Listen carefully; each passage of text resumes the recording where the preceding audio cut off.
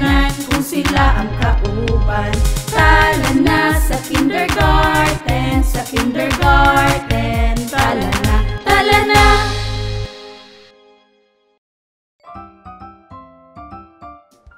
Hello, Mamay! Uy, Sisay, ikaw man di ay na. Nganong absent mang kagahapon? Absent ko gahapon, May. Kay gihilantan ko. Maudi ay. Sige, lingkod na. Salamat, May. May, unsa atong leksyon gahapon? Atong leksyon, gahapon, Sisay, kay mahitungod sa pagsulti kung unsa nga letra, numero o pulong ang adunay kapariha sa grupo. Unsaon man to, May? Pwede ko nimo tudluan? Sige, Sisay, tudluan ka na ako. Sige, May. Maminaw ko nimo. Aron, makabalo ko sa atong leksyon gahapon. Sige, akong basahon ang grupo sa mga letra. Dayon, ako ang isulti kung unsa ang letra nga adunay kapariha sa grupo. Sige, May. Ang unang grupo sa mga letra kay C, J, K, C, L.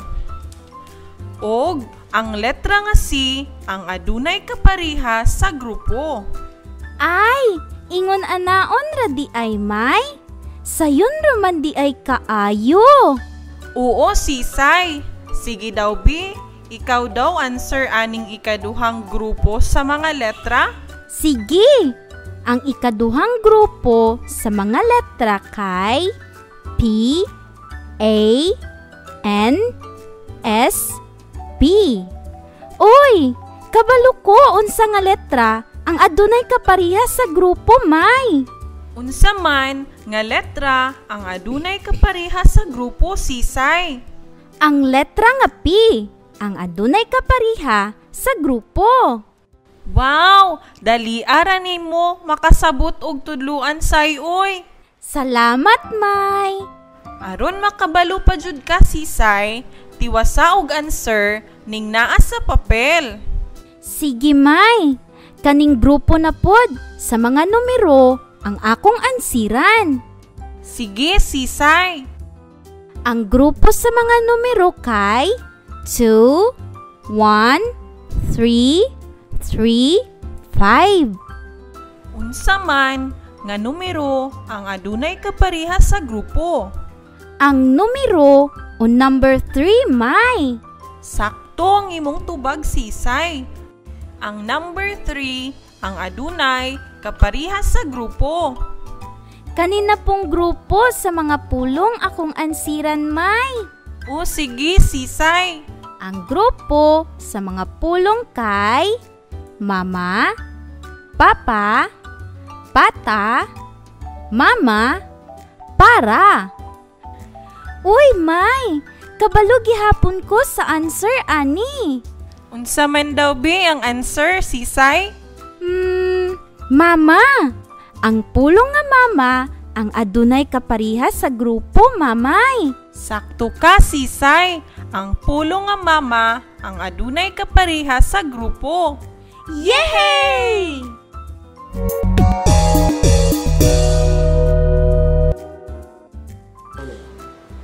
Hi mga bata! Ako si Sir Jomi. Nakatunan nato sa ika-30 ngayon to ang competency may tungod sa trace, copy, and write the letters of the alphabet. Combination of straight and slanting lines.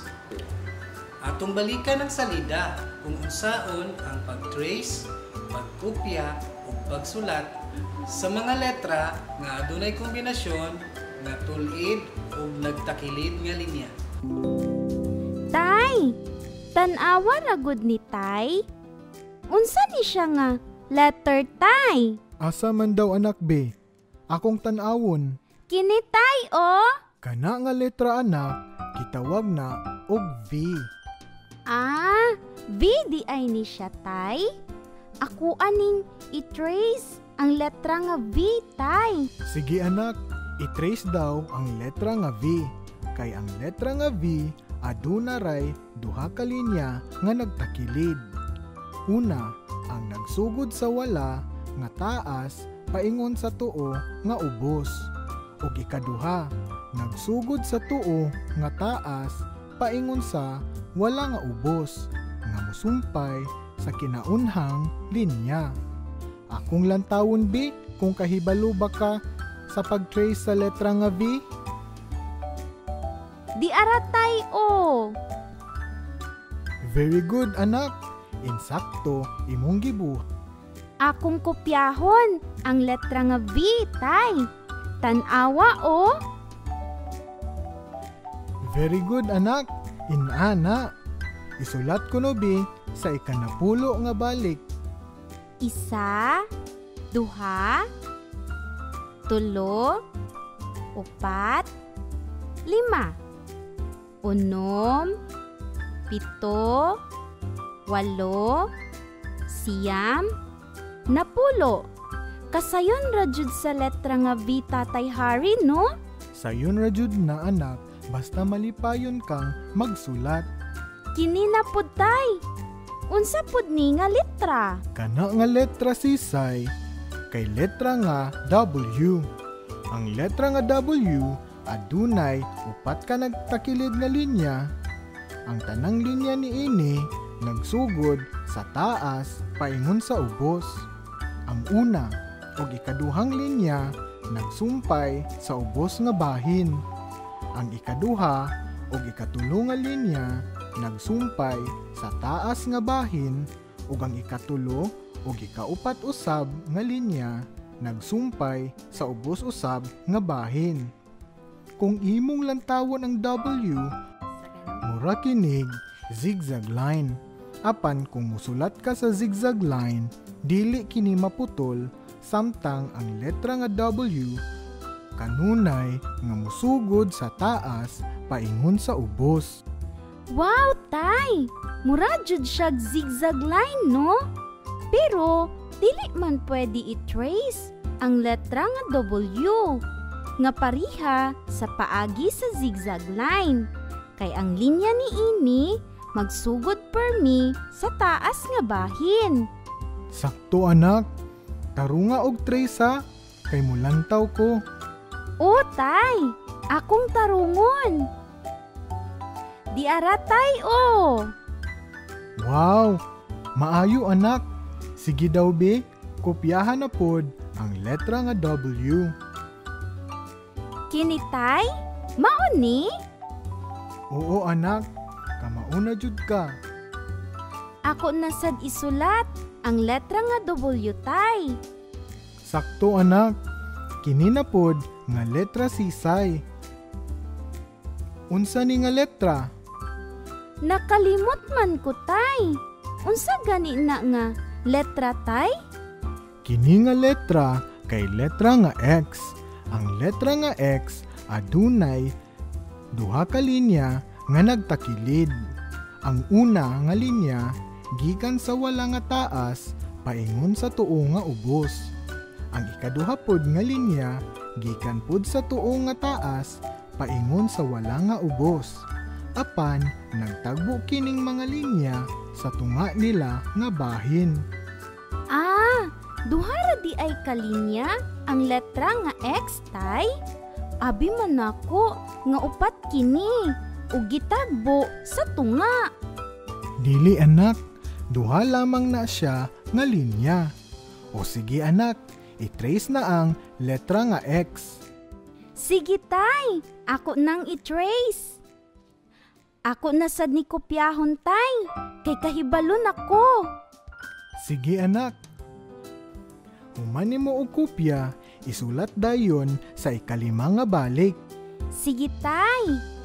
Usa, duha, tulo, upat, lima. Di aratay o. Humana. Wow, kanindot na mo sulat sa akong anak. Salamat, tay. Kining duha ka letra tay. Unsay ngalan ani? Kini anak mao ang Y ug kining usapod mao ang Z. Y ug Z? Kining Y tay? Unsaon man ni pag-trace? Kining Y anak adunay duha ka linya nga nagtakilid. Una nga linya kay nagsugod sa taas nga wala paingon sa tunga. Dili kini mulahos sa ubos. Ang ikaduhang linya nagsugod sa tuo nga taas paingon sa ubos nga wala. Apan ang tunga nga bahin ni ining ikaduhang linya ha musumpay sa unang linya nga anaa usab sa tunga natapos.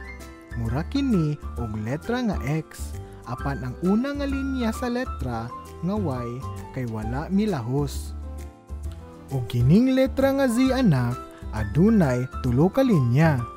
Una, linya nga naghigda. Magsugod sa wala paingon sa tuo. Ikaduha, musumpay sa tuo nga bahin sa unang linya. Ang nagtakilid nga linya paubos paingon sa wala. Ug isumpay usab ang ikatulo nga linya nga naghigda gihapon paingon sa tuo. Mura kinig zigzag line. Pwede putlon o dili putlon ang pagsulat ni ini. Wow! Ako na pud kopyahon ang letra nga Y ug Z. Sige anak, pakita dayon ko ha. O, tay!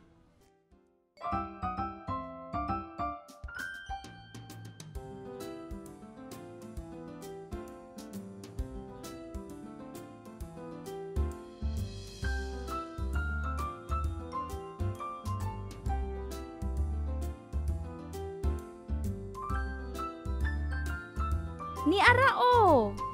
Sige kay kahibalo naman kamo kopya, isulat og balik ang Y sa ikatulo nga balik ug ang Z usab sa ikaupat. Usa, duha, tulo. Usa, duha, tulo, upat. Ni aratay. Very good anak. Sige, husto na ang pagpraktis sa pagsulat anak kay mukaon na ta. Sige tay, manghipos na ko. Salamat tay sa pagtabang nako og practice sa pagsulat. Karon, atong tun-an sa ika-31 nga yugto ang competency nga pagsulti sa letra, numero, o pulong nga adunay kapareha sa grupo. Kauban nato karon si Ma'am Annalyn. Salamat Sir Jomi. Mga bata, karon kauban nato si Sisay o Mamay. Hello, ma'am! Hello, mga bata! Maayong adlaw! Sisay, Mamay, andam na ba mo makaton karong adlaw? Oo, ma'am Annalyn! Kamu mga bata, andam na ba pud mo makaton karong adlaw? Very good mga bata. Mga bata, aron masabtang pag-ayo ang atong leksyon, atong balikan ang salida, mahitungod sa gihisgotang leksyon ni Sisay ug Mamay.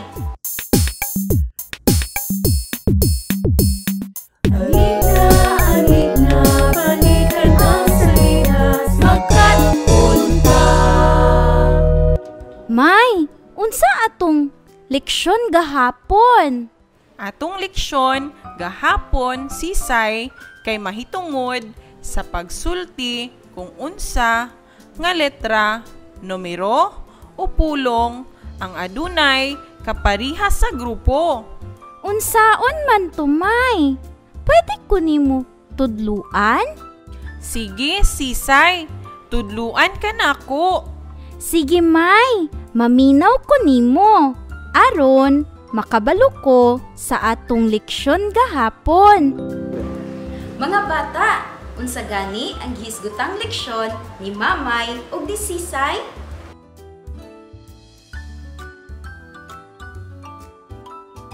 Very good mga bata. Ang leksyon nga gihisgutan ni Sisay ug ni Mamay kay mahitungod sa pagsulti kung unsa nga pulong, numero o letra ang adunay kaparehas sa grupo. Mga bata, atong balikan ang salida mahitungod sa paghisgot ni Mamay sa unang grupo sa mga letra.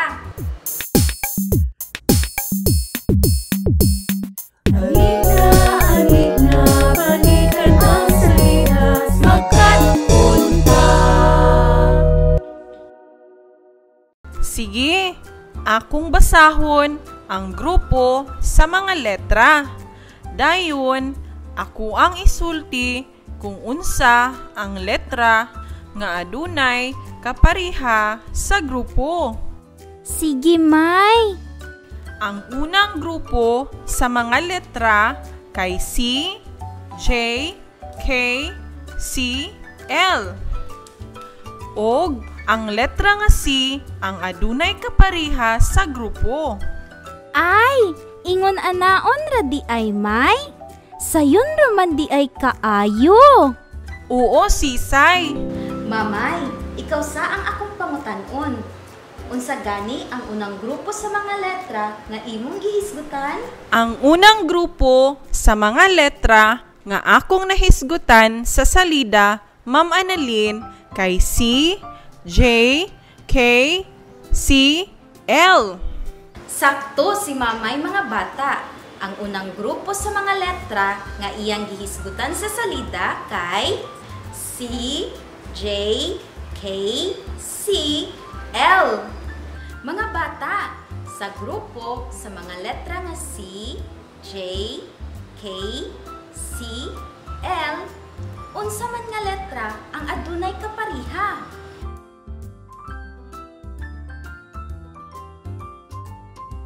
Sakto ang inyong tubag mga bata. Ang letra nga C ang adunay kapariha sa grupo. Mga bata, ato na balikan ang salida nga naghisgot mahitungod sa ikaduhang grupo sa mga letra.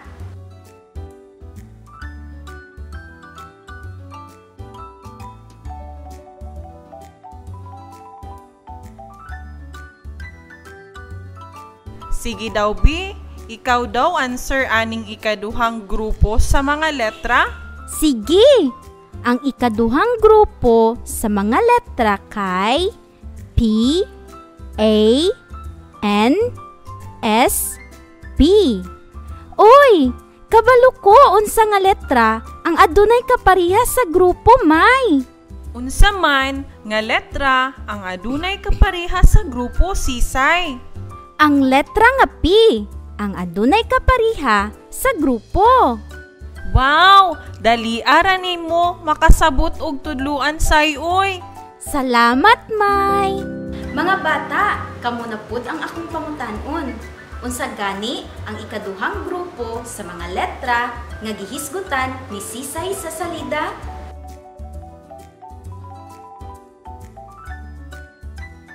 Very good mga bata! Ang grupo sa mga letra nga gihisgutan ni Sisay sa salida kay P, A, N, S, B. Mga bata, sa grupo sa mga letra nga P, A, N, S, P, unsa man nga letra ang adunay kapariha?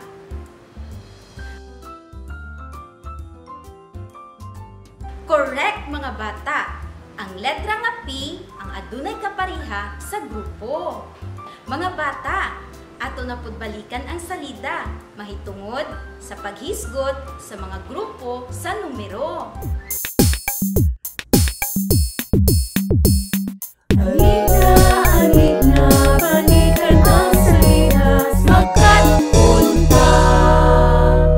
Aron makabalo pa jud ka sisay, tiwasa og answer ning naa sa papel. Sige, May. Kaning grupo na pod sa mga numero ang akong ansiran. Sige, sisay. Ang grupo sa mga numero kay 2, 1, 3, 3, 5. Unsa man nga numero ang adunay kapariha sa grupo? Ang numero o number 3, May. Sakto ang imong tubag sisay. Ang number 3 ang adunay kaparihas sa grupo. Sisay, ikaw na pud ang akong pangutanon. Unsa gani nga grupo sa mga numero ang imong gihisgutan sa salida?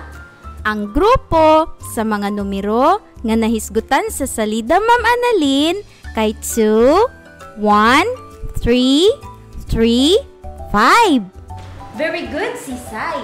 Mga bata, ang grupo sa mga numero nga gihisgutan ni Sisay sa salida kay 2, 1, 3, 3, 5. Mga bata, mangutana na pud ko ninyo. Sa grupo sa mga numero nga 2, 1, 3, 3, 5, unsa man nga numero ang adunay kapariha?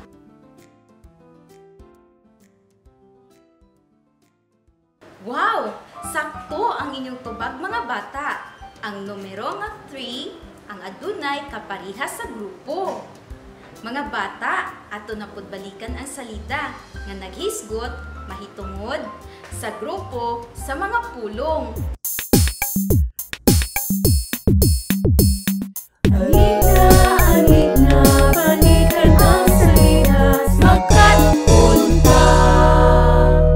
Kanina pong grupo sa mga pulong akong ansiran may. O sige, Sisay. Ang grupo sa mga pulong kay Mama, Papa, Pata, Mama, Para. Uy, May! Kabalo gihapon ko sa answer, ani. Unsa man daw be ang answer, Sisay? Hmm, Mama! Ang pulong nga Mama ang adunay kaparihas sa grupo, Mamay. Sakto ka, Sisay. Ang pulong nga mama ang adunay kaparehas sa grupo. Yay! Mga bata, unsa gani nga grupo sa mga pulong ang gihisgutan ni Sisay sa salida?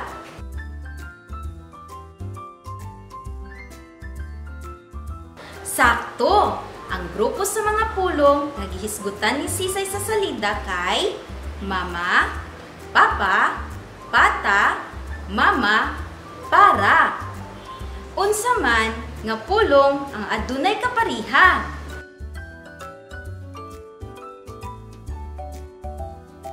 Sakto ang inyong tubag mga bata. Ang pulong nga mama ang adunay kapariha sa grupo. Mga bata, maghatag na pud ko og worksheet nga inyong ansiran. Mga ginikanan, kuha ka o giandam ang worksheet nga para sa inyong anak. Nga adunay mabasa nga competency, tell which two letters, numbers, or words are the same in a group. Mao kini ang inyong buluhaton. Una, mga ginikanan, butangi og check ang kahon kung masulti sa bata ang letra nga adunay kapariha sa grupo ug palingini kini. Ikaduha, mga ginikanan, butangi og check ang kahon kung masulti sa bata ang numero nga adunay kapariha sa grupo ug palingini kini. Ikatulo, mga ginikanan, butangi og check ang kahon kung masulti sa bata ang pulong nga adunay kapariha sa grupo ug palingini kini. Mga ginikanan, ayaw kalimot og sulat sa pangalan uban sa inyong pirma ug pitsa ni ini. Daghang salamat mga bata. Magkita na punta sa sunod nato nga leksyon. Bye-bye! Oras